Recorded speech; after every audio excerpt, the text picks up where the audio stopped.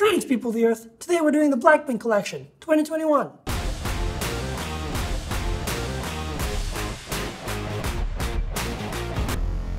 So, um, new place. I finally have a little place where I can go film. No longer in my bedroom. This is a designated space, and I figured I'd make a whole wall for Blackpink because they're the ones that got me into this, so they deserve at least a wall, you know? So just like last year, this is a video to showcase what I have and what I don't have. It's kind of just like a checklist for myself. Not a flex, but um, this is gonna be a video with no b-roll. It's just a chat between you and me. Got a table between us. Let's treat it as if uh, we're having coffee, except you're the one that can drink, and I can't. And I'm just gonna show you guys all the stuff that's behind me. So first things first, we have the Blackpink Square Up. This is the first mini album. We have the black and pink version. These two things, I think till this day, still one of the best things that Blackpink has come up with in terms of the album packaging, the songs inside. This is just, this is perfect. There's nothing that can really beat this at this point, from Blackpink at least. Um, other companies are doing things that are way better. But um, from Blackpink, this is top tier. Up next is the Blackpink Kill This Love Black and Pink Edition. These were my first uh, K-pop unboxing video for this channel, and it's just kind of snowballed into all this. Um, I love this album a lot. The Kill This Love soundtrack is just fantastic for getting like incredibly hyped. So this, love this a lot. Up next is How You Like That. This is the pre-release single that they released. I don't know why they didn't just do it as a digital release like Ice Cream, because uh, honestly this kind of unnecessary, definitely a cash grab, so don't get it if you don't have it. But uh, yeah, uh, this is probably the biggest waste of money. Uh, no, that's a lie. I have a lot more things that are waste of money. Don't get this. This, uh, my opinion still stands after, I think, a year and a bit. This is a pretty horrible thing to get. Up next are the Blackpink The Album, uh, first album thingy Bob. This is the last thing that Blackpink has done as a group, and it's been like a year and a half, and this is this is what we've gotten. Albeit it's an good album. It's about a six or seven out of 10, but uh, we need more music, you know? You, you can't just be a K-pop group, but just, you know, stop doing K-pop stuff. Uh, so hopefully we get something really good in 2022. Uh, but this solid set of albums, I guess. Uh, if you were only to get one, 100% I'd recommend this one. This is the prettiest one. It's the most unique one as well. Uh, but if you like some matte finish, this pink one is fantastic. Up next, we're gonna take a look at the solo series of products. So when Jennie did her solo, there were only two products. There was the album itself and the special edition photo book. For anybody that wants to hear the 200, 200 or 400 dollars, I don't remember how much I paid for this, uh, story for this book, please check out my Blackpink Collection 2020 video. Uh, I don't really want to go in depth into all these stories that I've told before. This video is just for the new products, you know? But a uh, long story short, I should have waited at least two more weeks before buying this. Um, but if you were to get it, I'd recommend getting both of these. Uh, Solo is a fantastic song and uh, definitely deserves to be in any collection. Up next is On the Ground. Uh, I do have the photo book and the vinyl over there. I'm gonna talk about the vinyl later, but uh, On the Ground, I really enjoyed this packaging when it first came out. I thought it was very unique. I don't like the crumpled paper that they did for the, I think, lyric sheet or track list or whatever it was. But this, very, very good direction as to where Blackpink should be headed in terms of packaging. This thing is brilliant. I am not a fan of On The Ground, like the song or like Rosé's R, all that kind of stuff. Did I say On The Ground? I meant R. Um, I'm not really a huge fan of it, but this photo book is fantastic. This is the sort of stuff like, look at the side, it's got like an R and everything. I think this is a great set piece if you're a Rosé stan, um, but this is, this is just brilliant. It, it is expensive. If you really want to show your love to Rosé, I believe these still exist, and I believe this is a limited edition thing as well. So if you can get your hands on one of these things, definitely get it uh, over this as well, because you can get this on like Apple Music, Spotify, the rest. but this is great. Okay, up next is the Lalisa albums, the black, the gold, and the kit. This, waste of money. don't buy it. You know, I'm not gonna throw it because this was pretty expensive. Um, uh, between the two, definitely get the gold. The black one has this beautiful matte. I know you can hear this. So if you're planning in the black one, definitely wrap it up, like reseal it. Uh, you just kind of have to look at my comments from the 2020 video as to how I resealed certain things because a lot of people seem to ask me that this year. Um, but if you get anything that's like a matte finish on the exterior, always, always reseal it or it's just gonna get super dirty. The reason I didn't do it for this was honestly, uh, I just didn't have time. so I would uh, definitely go back and do it for these two things because it's just collecting a lot of dust. Um, do I like Lalisa? Not so much, but um, I love Lisa so much that uh, I would buy anything, even this dinky little thing. But this gold one, top tier. On the same topic of Lisa, we have the Lisa 0327 photo book from the very first time she released this. And um, this is totally sealed up again. I resealed it. If anybody wants to know, just go look at those comments. But really quickly, there is such thing as like a, uh, a shrinking wrap. You put it in, you glue off the sides, or you cut it and then you seal off the sides. And then you use a hair dryer to it and it'll just, that's how you seal it, all right? Uh, this photo book, I thought it was great at the time, but this photo book, this is uh, top tier. I think this is the best photo book uh, from the Blackpink lineup. Uh, reason being, it's this white cloth material and it's just so fancy looking. It kind of feels like one of those like really expensive houses, table side book that no one ever touches. That's this. If you can get this 100% get this. I actually don't promote uh, buying photo books as much, but if they're this pretty, I definitely think that you should at least consider buying something like this. Okay, up next we're gonna take a look at the show memorabilia.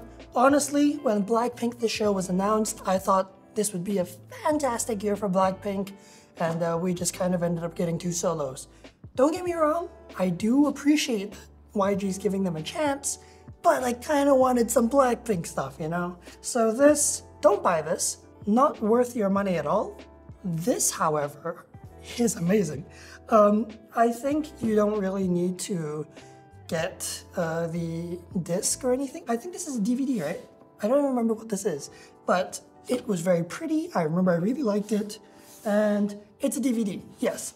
This is way more worth it. You get the songs, you get the visuals, and I think where the show shines isn't really on the vocals, but the visuals. And this is a very, very well put together package to demonstrate just that. In terms of Japanese releases, I know I said I was gonna get the album Japanese release, but I forgot to, and then it got difficult to find. And honestly, I didn't really want it that much anymore. So really quickly, if you haven't watched last year's one, it's uh, Blackpink in Your Area, Ddu-Du Ddu-Du, and Kill This Love, all of which are Lisa editions. This is the Blackpink 4 plus 1 photo book. I really thought they were going to do something special with this whole 4 plus 1 thing. It was so insignificant, I forgot what it was. Um, but uh, yeah, brilliant looking uh, felt book here. I really enjoyed this a lot. A little on the expensive side and kind of dull looking if you just leave it like this and you put like some lights there. Um, but uh, yeah, it's an okay purchase. Do you need this? No, you don't. But uh, what was this? Yeah, cash grab. That's right. Don't buy this. Up next, we have the Blackpink Lightstick version 1, version 2. Um, I damaged the box for my version 2 when I was moving everything here, but uh, which one would I go with? This one. If Blackpink were ever to do a concert, you don't want to feel left out, definitely, definitely get the second version. It's got lights, it follows the song and everything and uh, it's just much better built. Is it as good as other light sticks? No, this is this is like a, a, a, toy you would find in a market compared to a toy you'd find at like Toys R Us. You know, this is as crappy as they get. Okay, so for anybody who doesn't know what this is, this is just a black box and inside it is the Blackpink A80 phone with Galaxy Buds and the watch. The reason why I haven't put it up on display and it's still in its box is uh, mostly because I'm really scared someone's gonna break into here. Uh, this is my first day moving into here, and honestly, I'm still not too trusting. So we'll see how it goes after a few months, and then I might potentially put this on display. Given that this is just a film space, I don't really think it's necessary to put this on display. But uh, this is a brand new uh, part of the collection. It was actually the little goods that were supposed to come with the phone. It's just I never got it uh, at the same time. So what this is, is essentially you get a charger, a charging brick, you get a special edition photo card, and a phone case just for this. So I think this is pretty cool. Is it necessary? Um, okay, here's the thing. You don't need this phone to be able to use these accessories. By this phone, I mean the Blackpink version. If you have a Samsung A80 and you want to rep some Blackpink stuff, this is 100% usable on that phone, even if it's a normal edition. So I would highly recommend it, but at this point, that phone is about two years old now. I don't think anybody would want to use it, you know? Really quickly, gonna get this out the way. Uh, this was one of the first pieces of merchandise I bought, and it was from K-Town for You. I was at the physical store, and these are the As If It's Your Last, uh, I think it was the pop-up version uh, posters, and I got one for Lisa. I still don't know what to do with this, uh, but I don't think I'm gonna be hanging this up anytime soon. It's just gonna be here forever. The seal is still like still on there. I have not ripped it, so at this point, I think this has gotten sun bleached. I'm not too sure. Up next, we have the Summer Diaries, the 2019, 2020, and 2021. 2019, this was a new thing for me. I thought, wow, this is cool. I liked it a lot. 2020 seemed like it was a lesser version, so it was more like a, oh, 2021 was just an utter letdown. So um, don't get these. Uh, waste the money. And I think they're like, someone's gonna call me out if I get the wrong price. $40? I'm gonna stick with 40. I don't remember how much this is, but um, not worth the money, so don't buy it. Up next, we have the Blackpink Season's Greetings Welcoming Collection. Nope, Welcoming Collection and Season's Greetings. Essentially, it's just a calendar to get you hyped with the group for the year. And um, the pre-orders for the Blackpink 2022 one hasn't come out yet, which leads me to think they don't really want to do Blackpink stuff anymore. this was great. This had really good photos. This was just a mess. So if you were to get one, 2020 was a, is a pretty good, uh, you know, in between. I think this is this is good. Hopefully the 2022 comes out soon, and uh, I'll be able to do that video for you guys and uh, let you know if it's uh, another uh, landslide down into rubbish territory. These two things are not related, but I'm just gonna put them together. This is the Blackpink Tour in Your Area DVD and this is the Blackpink photo book. This is a little difficult to find, but recently I've seen it resurface, so if you can get it, don't get it, it's a rubbish photo book. Uh, when it comes to photo books, this is probably one of the worst ones that Blackpink has released. This DVD, I don't actually remember buying it, but I have it, so...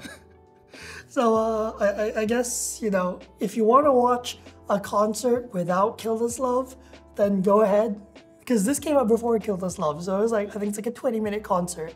I also feel like I made that joke last year. I think so, I don't know. But um, these two, don't buy it, not worth it. All right, up next we have Blackpink Monopoly. Uh, once again, the box doesn't really shut properly, and uh, ever since I bought this, I have never opened this again. I've never played it with anybody, and uh, yeah, do I plan on playing with this? Uh, I don't know. Uh, COVID's been kind of annoying, so I don't really want people over. But uh, Blackpink Monopoly, really expensive if you don't find it at your local Toys R Us. So just buy regular Monopoly, you'll learn, you know. And if you really want to buy this, then buy this, I guess. But uh, in my opinion, not worth it at all. Okay, so we're gonna start taking a look at the vinyls. I only have two. The Lisa one's gonna be coming next week. Uh, so it's not gonna make it for 2021, which is why I'm not including it in this video. Uh, but this is the album version. By far, one of my favorite purchases from Blackpink. This was extremely expensive, but it just makes you feel like a real VIP when you're buying this. Like you're not just buying some stupid little merchandise that YG spits out. Uh, this really made me feel special. And it's not even twice. Get it? Please, please get the joke. Oh god, that was not even funny. Final vinyl that I own is the Rosé R vinyl black and white, and it's colored at the back. Uh, it's okay. I mean, it's a vinyl. I don't have a vinyl player, so I don't know how to appreciate those. But uh, do you need to buy the vinyls? No, you do not. The album will suffice. I don't really recommend this one because, okay, it's cheaper than the Blackpink one, but it's not the Blackpink one, you know? So anything after that just kind of feels eh.